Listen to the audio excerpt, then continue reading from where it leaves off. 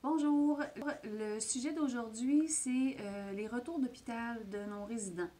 Euh, donc, on se demande souvent qu'est-ce qu'on fait quand les gens reviennent de l'hôpital, est-ce qu'on doit mettre des procédures d'isolation en place? Donc, euh, je vais répondre à ces questions aujourd'hui. En fait, un résident qui a passé plus de 24 heures à l'hôpital doit absolument être mis en isolement préventif dès le retour à la résidence, que ce soit dans une RPA ou dans, une, dans l'ARI.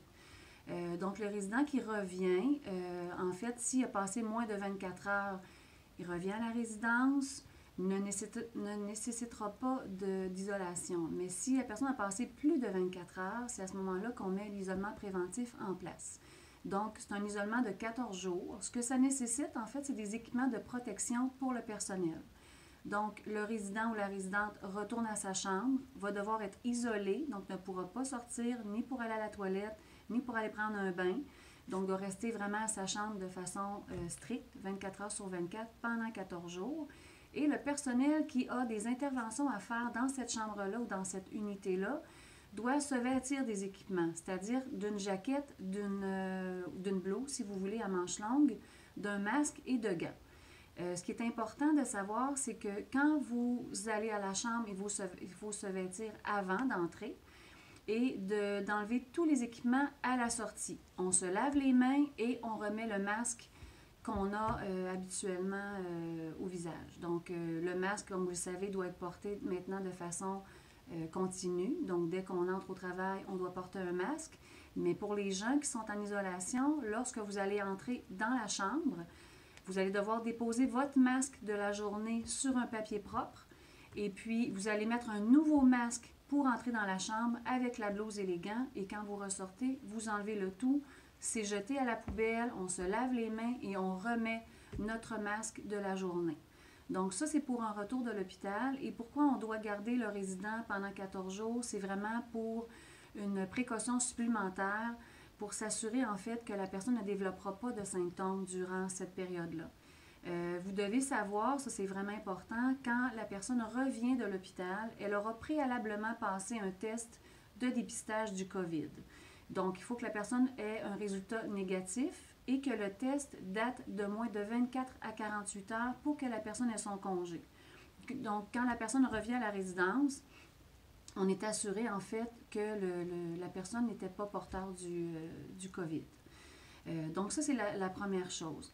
Ensuite, euh, mon deuxième sujet, c'est si quelqu'un est déjà à la résidence, donc un résident ou une résidente qui habite déjà chez nous, aurait des symptômes.